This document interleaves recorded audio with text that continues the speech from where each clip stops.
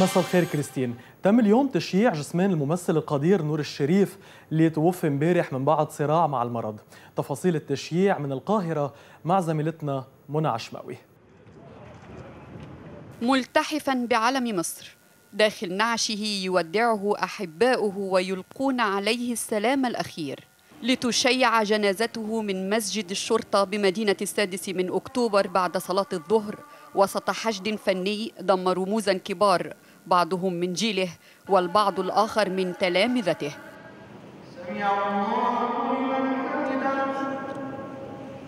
ورغم حرارة الجو الشديدة إلا أن ذلك لم يستطع أن يثني العاشقون لفن العبقري العملاق نور الشريف من حضور جنازته وحمل نعشه على أكتافهم. أغلبهم خنقه الحزن والدمع فلم يجد كلاما يصف ما يشعر به والقليل من الحاضرين وقفوا ليقدموا عزاءهم عبر شاشات التلفزة تقديرا منهم لرحيل آخر الرجال المحترمين. عذرا هي ليست عبارة بل أحد أفضل أعمال نور الشريف الرائعة. مش عارفة أقول لك إيه. مهما تتكلم عن نور الشريف ما تقدرش توفيه ويكفيه بأنه طول مشواره الفني حقق كثير جدا من ال- الأشياء اللي هتظل آه، ترمز وتشير على أهمية نور الشريف ك- كفنان. بقاء لله يعني خسارة كبيرة بالنسبة لمصر. إن شاء الله ربنا يعوض الفن لنور الشريف في ذاكرة أفضل مئة فيلم في تاريخ السينما المصرية سبع أفلام رائعة. بينما في تاريخ الدراما فله أعمال لن ينساها محبوه مثل الحج متولي ولن أعيش في جلباب أبي. أنا مش عاوز مناهده أنا تعبان ولعلمكم اللي هتزعلها كأنها بتزعلنا. أما البداية فكانت في أواخر الستينيات. مع مسلسل القاهرة والناس. ولا نستطيع أن ننسى رائعته هارون الرشيد بالإضافة إلى تقديمه لشخصية أمير المؤمنين عمر بن عبد العزيز. وكانت تبقى في أعماقه رغبة لتقديم شخصية سيدنا الحسين بن علي بن أبي طالب والقائد نور الدين محمود زنكي. إلا أنها يبدو ستظل مجرد رغبات. أغلبية المبدعين راحوا واللي فاضلين حاجة بسيطة قوي كان أستاذ كبير جدا وأنا لي لي يعني لي لي فضل عليا كبير جدا جدا في انه هو اللي دخلني المعهد وهو اللي كان أستاذي.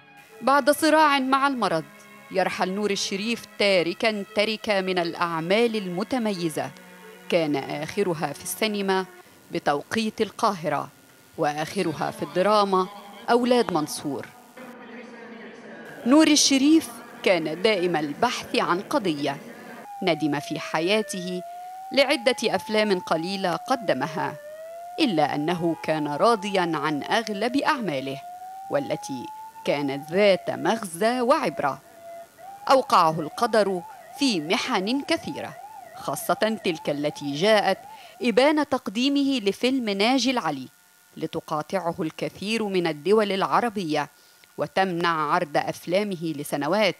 كذلك تعرض لانتقادات شديدة بعد تقديمه كلا من فيلم الكرنك والمصير. أما علاماته البارزة في السينما فهي سواق الأتوبيس والعار حدوتة مصرية والبحث عن سيد مرزوق بالإضافة إلى أول أفلامه قصر الشوق والذي يعود الفضل في تقديمه لهذا الدور إلى الفنان الكبير عادل إمام الذي قدمه للمخرج الراحل حسن الإمام. آخر عمل عملته معاه كان ادالي ثلاثة كان بيرشدني برضه. لو تسألي أي حد في الوسط الفني آه، نور الشريف علمه. أي حد اشتغل مع نور الشريف يتعلم من نور الشريف. خمسون عاما من العطاء لم يقبل فيها كرسي الوزارة. لم يقبل أن يرشح نفسه للانتخابات البرلمانية والتي كان النجاح له فيها مضمونا. لم يسعى لأي ألقاب فهو كان واثق بأنه متربع داخل قلوب الملايين من العرب فهو وحده الذي صدقناه في كل شخصية قدمها وهو وحده الذي جعلنا نفكر. ماذا بعد أيها النور المشتعل بكل شخصيات الدنيا؟ منعشماوي الجديد من القاهرة. أطلقت مايا دياب ألبومها الجديد اللي حمل اسم ماي مايا والفيديو كليب الخاص بالعمل وأكدت أنها مقاومة فنية وتصر على تحدي كل الظروف ولو كانت صعبة. ورغم غياب أغنيات زياد الرحباني عن ألبومها الجديد مايا بتأكد أنه علاقتها فيه ممتازة. وليه بعدها بعيدة عن التمثيل؟ وهل راجعة إلى تقديم البرامج؟ الإجابات من مايا دياب بهاللقاء.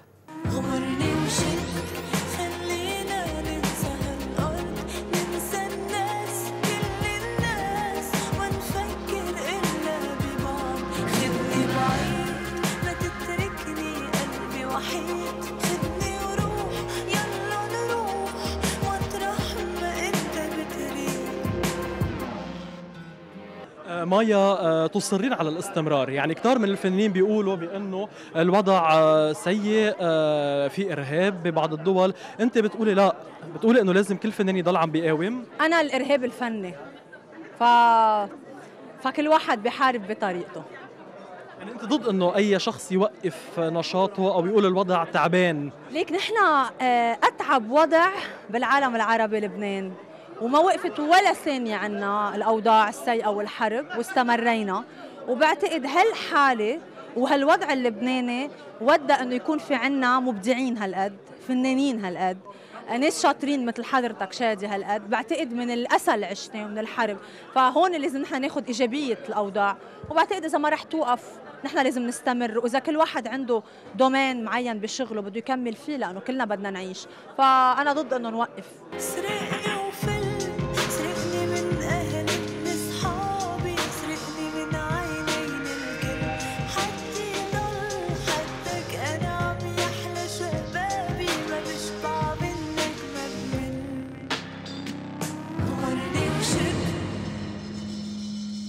شهر رمضان. آه، تابعنا كتير مسلسلات وانت عرض عليك آه، كتير. ليه بعد هيدي الخطوة مش عم تكتمل؟ لأنه عم عم كمل خطواتي الناجحة. ألبومي كان priority عندي. التمثيل منه priority ولما يجي وقته ببقى بخبرك شادي. بهيدا الألبوم رح يكون في أغاني زيادة رحباني no no. أغاني زياد لوحدهم. موعدة مع زياد بكرة بعد الظهر إذا بتحب تجي. في موعد يعني يلي قالوا بمحل معين إنه في عتب إنه مايا عم تتأخر. بيقولوا اللي بدهم اياه أنا علاقتي بزياد الرحباني ما حدا بمسها لا قيل ولا قال. آه، رح ترجعي على تقديم البرامج. إيه. بالشي حلو الله رد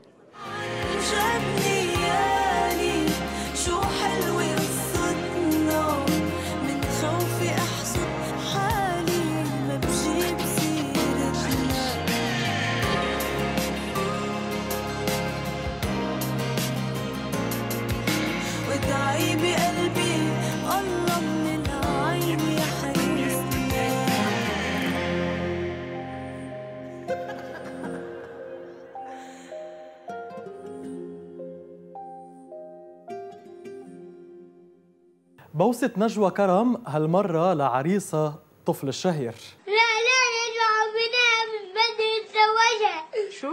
بدي اتزوجها نجوى كرم عم بنام بدي بس حبيبي حبيبي اسمع لا لا لا لا بدك تتزوجي لنجوى كرم؟ لا ليه بدك تتزوجها؟ مين الأحلى ماما ولا نجوى؟ نجوى نجوى أحلى من ماما؟ إيه؟ شو بتقول نجوى؟ شو بتقول؟ دول عدشي بتقول حد ما قالت لك شيء؟ ما ردت عليك على المسج؟ شو بتقلها يلا نجوى عم تشوفك هلا شو بتقلها؟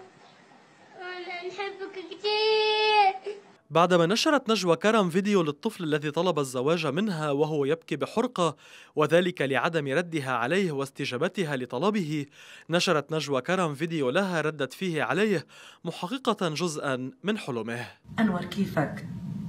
النجوى كثير زعلت لما شفتك عم تبكي بس بنفس الوقت كنت فرحانة لأنه شفت قديش بتحبني. وأنا حبيتك كثير قهرت لي قلبي لأني شفتك عم تبكي هيك لازم شوفك قريبا بس ما بدي اياك تبكي بدي اياك تحبني من دون ما تبكي.